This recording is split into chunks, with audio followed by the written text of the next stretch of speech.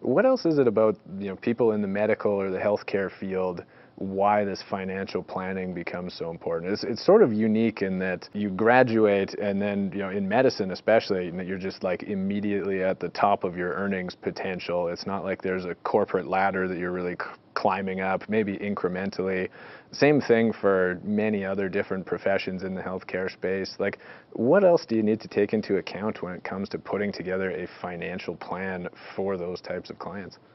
I think it really comes down to, you know, early on we're dealing with debt management and making sure that lifestyle doesn't accelerate too quickly so you can take care of the debt. Um, two, 300,000 is very normal for people coming out of the medical professions, whether it's, you know, doctors or dentists. Guilty, yeah. Yep, and the banks are happy to lend them a ton of money. I think it makes you a client for life usually uh, with the banks. Um, but really what you end up dealing with is first accelerating that debt repayment, but you've often deferred other parts of your life, family, owning a home, that kind of stuff. So I think early on, it sort of sets a pathway of how do you achieve all these goals. Just because you're making good money, you're still saddled with a fair bit of debt. So it's how do we, you know, work on those goals, move you forward on these different objectives in the short term. You know, it doesn't take that long um, for most to get out of that debt, and then it becomes what is the right way to tackle building wealth, usually in corporation. You get that deferral, so you take out what you need, whether it's in salary or dividends, retain the rest in the corporation, start investing it there. So I want to chat more about the incorporation because that piece is like very commonly cited as one of the most critical. I have yet to actually incorporate, so I've got a lot to learn there. Uh, I mean, right up front, when you're like engaging with a financial planner or somebody in this space, you know, fees is sort of that very first thing that goes through your mind of like, how do I set this up? What's beneficial? What what are the differences there between you know the assets under management and having a percentage versus a flat fee? In what case is each of those more advantageous to the client? So with those situations, you have a couple different ways you can work with people. So I will do fee-based planning where it's just advice only. So if you want to do self-directed you know, manage your own affairs, whether it's stocks or rental, then you get access to the advice. And we do a detailed plan, and then we would meet, you know, once a year or every other year, depending on your needs and how frequently you want, to kind of make sure we're on track to where you're trying to go.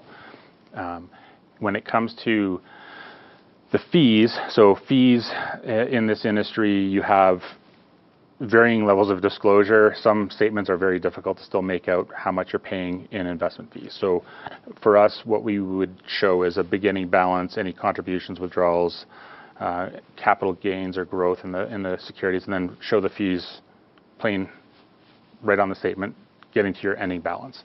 And we reconcile that on current quarter, year to date, and since inception. So there's never any confusion or uh, lack of clarity, I guess, when it comes to what you're paying. Um, with that, there's often embedded fees. So depending on the platform you're working on off of, you can have embedded fees in some of the managed products that are being offered. So the way we do it is we have our fees are plainly disclosed, and then we have a MER that's tied to the portfolio that is capped at 45 basis points and can fluctuate depending on what's in the portfolio at any given time. And when it comes to the setting up the comprehensive financial plan, like what's even the ballpark people should be looking at in terms of fees? For doing a fee-based plan? Yeah. Uh, I would say for most people with businesses or, or a bit more complex structure, you know, you're somewhere in that $7,000 range. Um, it can take anywhere from, you know, 20 to 30 hours, depending on what we're dealing with.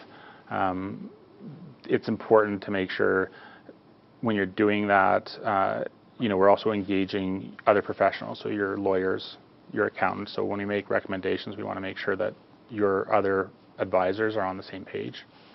And then on the other half of fees is sort of quality, right? So of course you evaluate any purchase, that's sort of the trade-off is, you know, price versus product. When it comes to like engaging with a financial professional, how do you even gauge that? Like how do you know if the person you're signing up with is knowledgeable and credible or you know getting what they say done well i think you know, on the investment side, you're looking for designations such as the CFA or CIM for portfolio managers.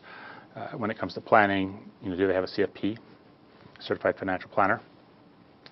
Uh, I think the other thing is ex experience.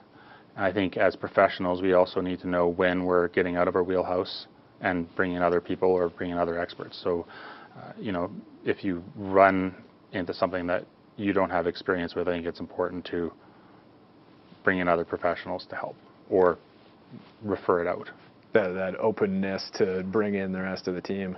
Correct. Are, are, there any like red flags that you would say are like an immediate like okay maybe get a second opinion or you know even do another interview with somebody? It's almost like hiring somebody for a job, right? You want to make sure you're joining the the right team. Yeah, and I think uh, with respect to figuring out the right fit, I think it really comes down to, you know, when, when, you've been in this industry for 14, 15 years, a lot of the people I work with, I've been working with them from the very beginning. And, and I always say to people in our introductory meetings, you know, we're not going to be the right fit for everybody, and that's okay. What we want to find is people who we align well with in terms of what we deliver, how we want to work with you, and if it's a good fit, then we can go from there. And it starts, I think, the relationship on the right foot having someone who's working with you who maybe wasn't totally convinced it's the right fit, it's never really going to work out well for everybody probably in that case. So I think it's just best sometimes to, to make sure that the person you're working with, you're comfortable with. And I think it's also important to make sure that not just you, but also your spouse, if you have one, is on the same page. I think you need to have a, uh, alignment of feeling comfortable with who you're working with. And then on the side of transparency, I know you mentioned that as being one of those like really critical elements to the relationship. What should you be looking for in terms of transparency coming from the financial professional? Well, I think disclosure of fees, conflicts of interest. So if there is a conflict of interest, so for example, you know, the investment fees are very plainly disclosed, disclosed, right? But what you will have is, you know, if there's life insurance, life insurance does come with commissions, and those commissions can be very, you know, significant. Doesn't mean it's not necessarily a good product or good solution that helps you achieve your goals, but being aware of that so that you're informed of where those potential conflicts of, uh, of interest arise. So. Okay, so just like making sure you have those conversations up front. Ask the questions. Is there any hidden fees? Is there any commissions? I mean, there's nothing wrong with ask, asking that question. Yeah, yeah, it might be a little uncomfortable, but make sure. Might be, but but if the person is is not trying to hide it in the first place and and they disclose it, they shouldn't be a complicated conversation. Risk management. Yeah, I've been sort of told the the mantra of you're a young person early in your career, Invincible. more risk equals more money later. Yeah, is it what's your approach to that?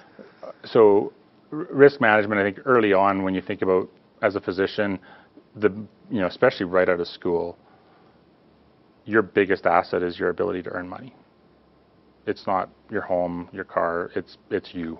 So protecting your earning potential through things like disability insurance, um, building that foundation. When it comes to the investment side, it's about diversifying. So you know, it's um, it's common, I guess, to want to, you know, have those water cooler conversations, so to speak, and and chase home runs. But I think where you find a lot of wealth is created over the long term. If you have good earnings ability, it's more about doing the right things consistently, which is saving, being disciplined with how you deploy capital, as in, you know, are we trying to hit home runs or are we just trying to hit singles and doubles and are we happy with, you know, earning a reasonable rate of return but protecting the wealth that we have created? I'm Dr. Jordan Vollrath, and you've been watching Cherry Live, brought to you by Cherry Health. Please like and subscribe to see more clips like this, or check us out at www.cherry.health, Canada's medical network.